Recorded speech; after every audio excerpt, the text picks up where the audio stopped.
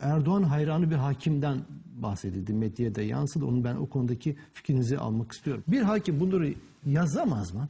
Soyut olarak söylüyorum. Soyut bu olarak. hakim böyle Buradan bir şey çıkalım. yaptı yapmadı bilmiyorum. Bir hakim böyle bir şey Tutuklama yapabilir. kararı Herhangi bir hakim. Değil bir hakim, meteoroloji müdürü bunu yapamaz.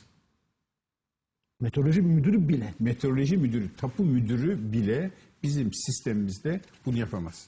Çünkü liberal liberalin altını çiziyorum. Tarafsız devlet kavramı insanlığa liberal hukuk felsefesinin kazandırdığı bir kavramdır. Kamu görevlilerinin ve kamu hizmetlerinin tarafsız olması demokratik hukuk devletinin temel ilkelerinden biridir.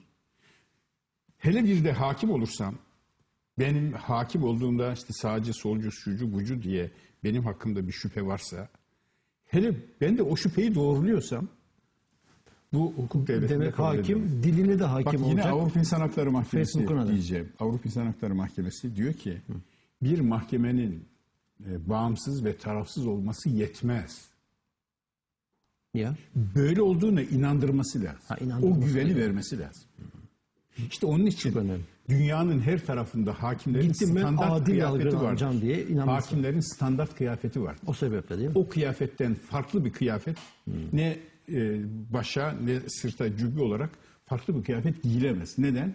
Hakim deyince onun Ahmet Bey, Mehmet Bey, Ayşe Hanım, Fatma Hanım olduğu akla gelmeden cübbesi akla gelsin. Fonksiyon akla gelsin diye. Adaletin gözü bağlanır ya. Ne için? Kime karar veriyorum diye bakmasın. Hangi fiile karar veriyorum diye baksın diye.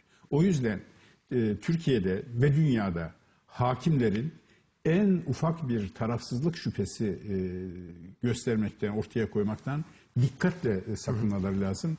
Bu ortaya çıktığı zaman da zaten Avrupa İnsan Hakları Mahkemesi'nin iştihatlarına göre reddi hakim hakkı doğar.